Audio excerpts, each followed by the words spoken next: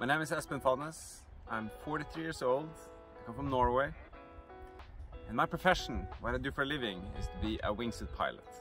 Which means that I'm outdoors, winter and summer, up in big mountains, and I love my job.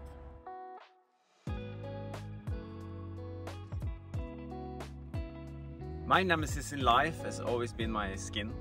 Ever since I was young, I've been struggling a lot with um, eczema and uh, very fragile skin type. I'm very often up in the mountains when the sun is at its highest in a south-facing mountain and I'm right there where I get sunburned because that's also where I get the best air to fly on.